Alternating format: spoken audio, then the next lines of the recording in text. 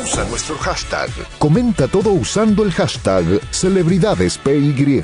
La noche de las estrellas, celebridades. Bueno, fantástica y fabulosa, está aquí a mi lado, ella es genial, es una de las número uno de la música en Paraguay, ha ganado todo lo que tiene que ganar, está aquí a mi lado por fin. Mirta Noemí, ¿cómo te va? Buenas noches.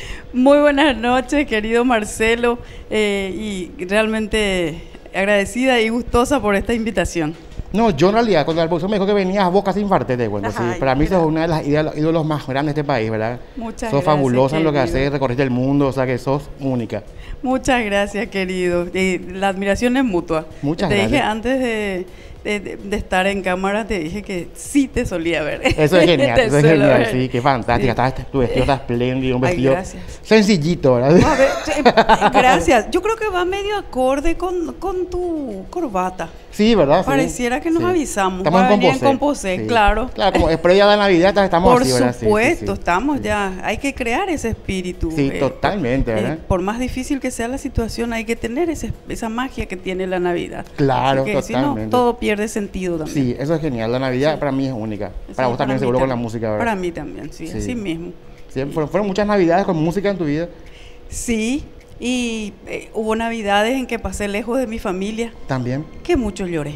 Seguro. Realmente, porque estar en un país tan raro, tan diferente al nuestro como Qatar, por ejemplo, que Claro. es eh, un país árabe, la Navidad es nada, o sea, no significa, es un día cualquiera, Ah, sí. sí, y el Año Nuevo también, pero tu- eh, tuvieron, por supuesto, como era un hotel Sheraton, eh, tuvieron que preparar también al- eh, algunas cosas alegóricas a, la- a la Navidad por, por los pasajeros, digamos, por, Claro, los por los huéspedes, extranjeros, sí, occidentales. Y, pero me- mm, igual el estar lejos de la familia en esas, en esas fechas tan importantes te ponen tan emotivo. Y ahí, ahí te das cuenta de, de lo que es realmente, de lo que significa el afecto, el afecto de los amigos, de la familia, el afecto de la gente cercana a uno.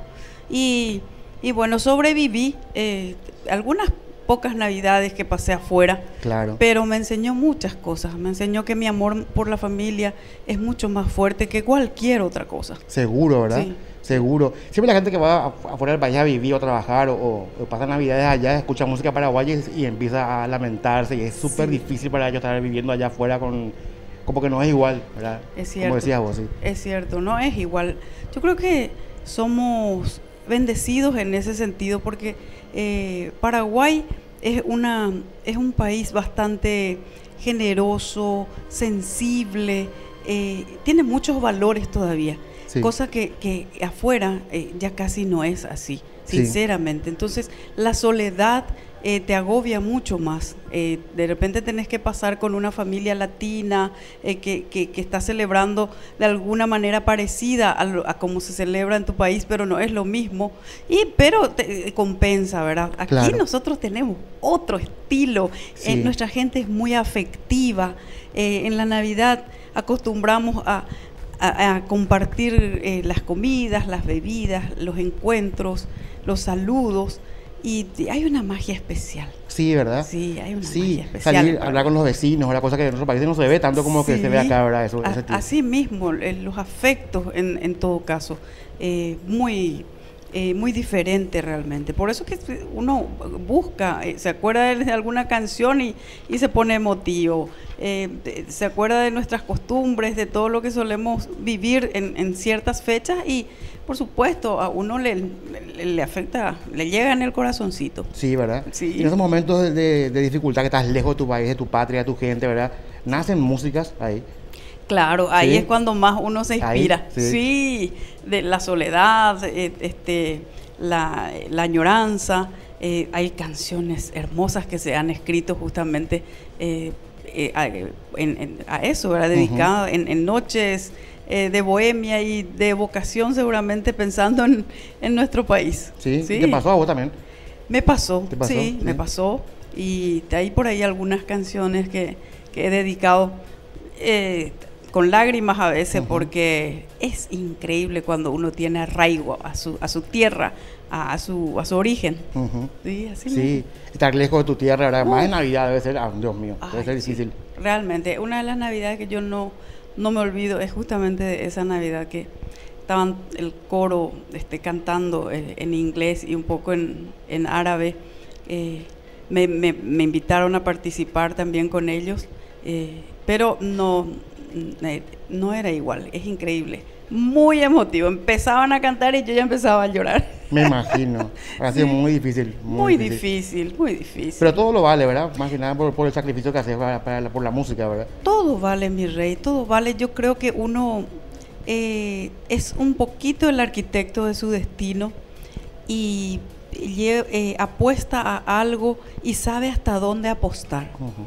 Yo cuando dije, eh, a partir de ahora me voy a quedar, mi madre se está poniendo mayorcita y este, quiero pasar estos, estos años este, que pienso que le queda, voy a quedarme cerca de ella. Y por otro lado, dije, voy a hacer carrera en, en Paraguay.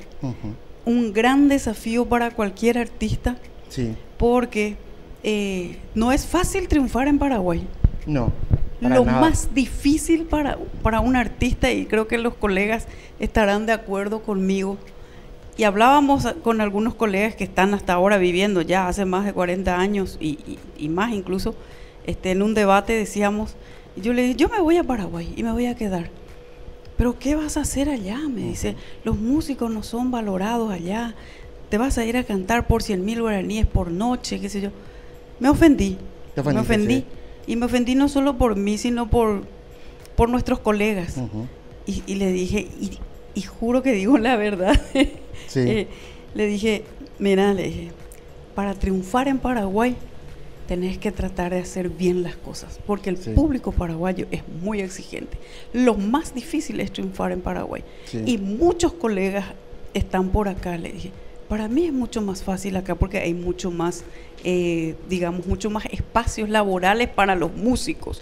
Probablemente no, no, no llegamos a ser eh, en primera plana mundialmente famosos, ¿verdad? Claro. Pero sí nos ha ayudado a vivir dignamente de la música. Y sé que muchos colegas están todavía ya viviendo muy bien de la música. Pero les dije, triunfar allá es muy difícil. No cualquiera de ustedes van a apostar y dejar esta vida e ir a Paraguay a apostar. Y, y bueno, hoy día este, no me puedo quejar cómo me ha ido. Eh, probablemente no soy muy famosa, pero eh, tengo lo que siempre quise de esta carrera artística, que es el, respeto de la gente. Claro. Es mucho más importante para mí que ser famoso. Pero de hecho lo sos. Y, y, yo creo que vienen un poquito de la mano. Sí, es, pero, que, es que sos. Sí. Mira la verdad, o sea, que todos te conocen. ¿Quién, quién no, quién no, quién no sé. ¿Quién, quién diga que no, no sé quién no te conoce, ¿verdad? Sí.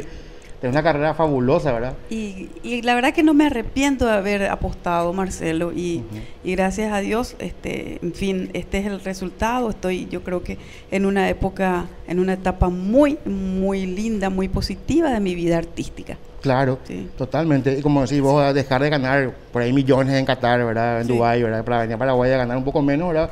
Por ahí lo vale, por tu mamá, como decís vos, ¿verdad? Así mismo. Y tuve la la dicha de, de haber cuidado de mi madre eh, de la forma, de la mejor forma en que pude.